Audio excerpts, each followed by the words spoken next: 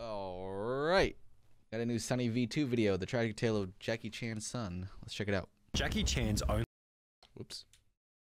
son hasn't had the easiest life. Between an unsuccessful film career and the time he spent in prison, JC Chan has been unable to live up to the high standards set by his father, and it all began with JC's luxury upbringing after his birth in 1982. At this point in time, Jackie Chan was permanently busy with acting and would therefore spend only two weeks per year with From what I've heard, Jackie Chan is kind of a piece of shit.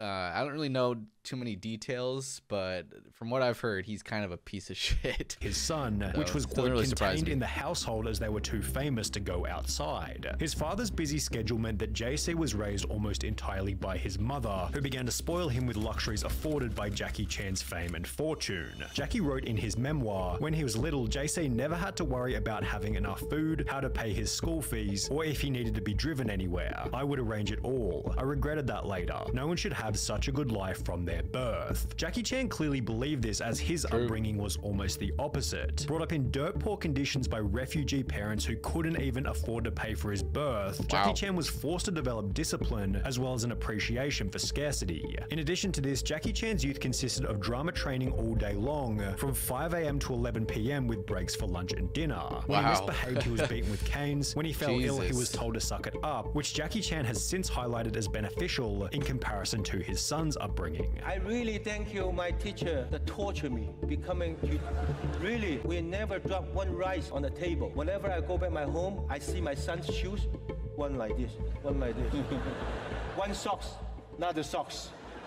No discipline. JC's cushy childhood led Jackie Chan to write in his book, When he was a teenager, I definitely didn't think JC was pushing himself hard enough. I'd work all day, go jogging at night, then get back and see that he'd gone to bed, even though it was only 9 something. I'd grumble, he's asleep already. I'd storm out in a bad mood and go jogging again, thinking when I was his age, I wished he could follow me around all day to see how much I did. Sometimes I'll have 8 meetings in a row, right up until midnight, then I'll go home, do some exercise, and read scripts. JC's clear lack of drive and ambition in comparison to his father led JC to drop out of college at the end of his first year, stating, I wanted to be a musician. All you can see in Virginia is sheep. What? Although other sources Okay, state that he was little weird. expelled from the school as a result of excessive drinking, unclean living conditions, Oh and two God, really? semesters worth of unwarranted absences. JC's desire to become a musician was against the will of Jackie, who had not wished to see their son in show business. He wanted JC to be a lawyer, an engineer, or a doctor, as JC's mother had, quote, already lost her husband to this profession. Despite the wishes of his parents, JC moved from Los Angeles to Hong Kong in 2004, where he planned on cultivating his own successful story in music, stating, It is my Is Jackie Chan big in China? Like,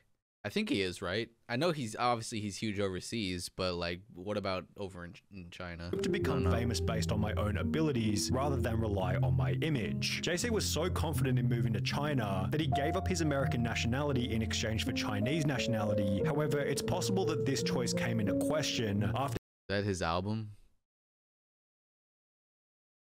He has a song called JC's Burp. Okay.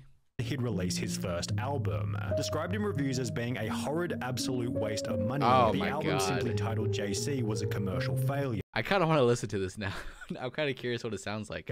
The reason for this, as described by JC himself, was because Hong Kong is different from other places. You need to do music and movies, leading JC to appear in his first film titled The Twins Effect 2, uh, which received an IMDb rating of less than 5 out of 10 stars. And while it'd be ridiculous to expect an Avengers level performance from JC's first on screen appearance, the movies which followed weren't that much better. He'd appear alongside his father for Jackie Chan's 100th movie titled 1911 Revolution, yet the collaboration resulted in Jackie Chan's least 100th, financially huh? successful and least positively received picture to date, I've never heard of grossing only $127,000 before receiving a score of 8% on Oh Rotten my Tomatoes. One year later, JC would play the main character in a movie called Double Trouble, which also entered media Jessica C. headline. Later, JC would play the main character in a movie called Double Trouble, which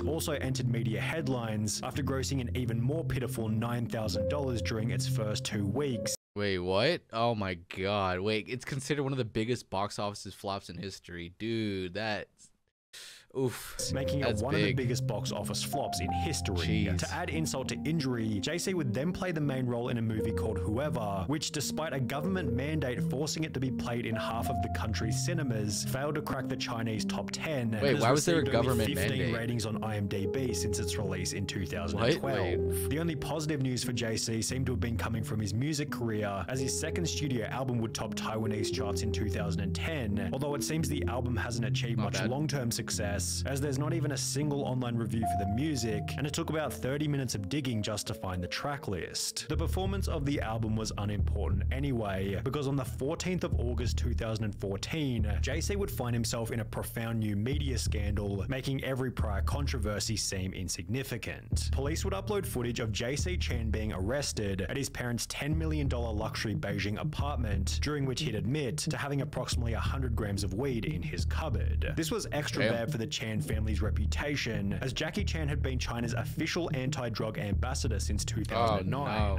For Not this reason, look. Jackie Chan would take to social media to apologize, writing, For my son JC to get into such trouble, I'm very angry and astonished. As a public figure, I'm ashamed. As a father, I'm heartbroken. I can't begin to describe his mother's pain. Dude, it's just weed, man. It's just weed. Come on. I failed to be a good father and I deserve the blame. I will take the responsibility and apologize to the public on behalf of JC. In the process, Jackie practically disowned his son, stating that he hadn't and didn't plan on using any of his connections to lessen JC's sentence. I have not visited him even till now. I did not even use any connections to call anyone. If JC only went I mean, that's a little fucked up from Jackie, honestly. Like, eh, I know drug drug restrictions are very uh tight in China.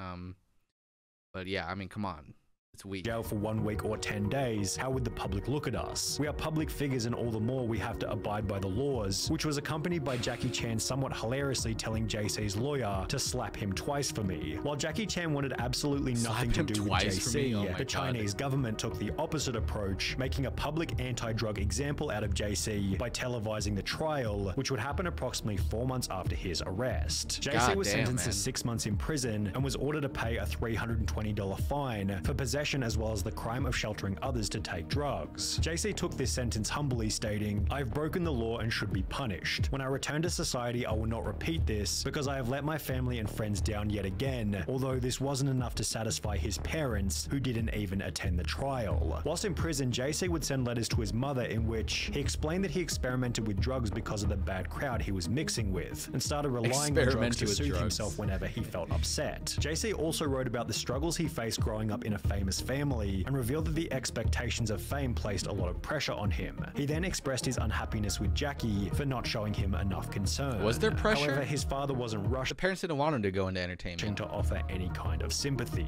Jackie Chan would state in an interview, I hope to be an anti-drug ambassador for life. I even hope that after JC is out, he can be an anti-drug ambassador too, telling everyone to stay away from drugs, which was followed by Jackie stating publicly that he supports the death penalty for certain serious offenses. Additionally, Jackie Chan would announce that he would donate the entirety of his reported $350 million net worth to charity and not pass it on to his Oh, son I JC. d- yeah, I heard about If he is capable, he can make his own money. If he is not, then he will just That's be insane, wasting dude. my money. That is insane, man. That is insane. Wow, man. Oh god, I would be so pissed. I would be so pissed. Like, ah, isn't that kind of the point of like growing wealth? Is like not just for yourself, but for your future generations too, to have an, have a nice life.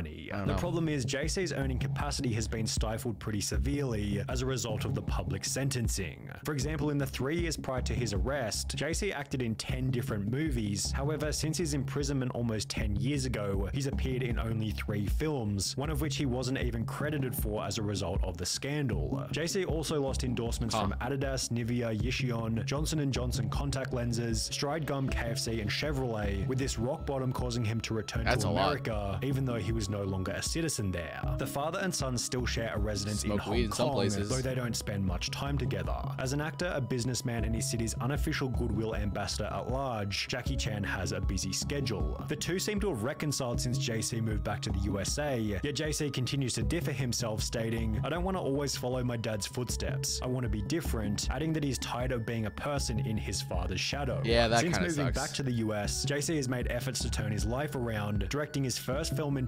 2021 titled Goodnight Beijing, and according to IMDb, he has another two movies on the way. Jackie I Chan- mean, yeah, it definitely, yeah, it, it can definitely screw up someone, you know, being born into that much wealth and that much fame, like being the son of an such a huge name. Uh, we've seen it before in like Tom Han- Tom Hanks' son too, where they just try to like, yeah, I don't know, they try to act out. I guess. I mean, he didn't really act out, kind of. I guess where they don't really want to be like their dad, like in the sense that he didn't want to be as uptight as his dad. I guess. I don't know.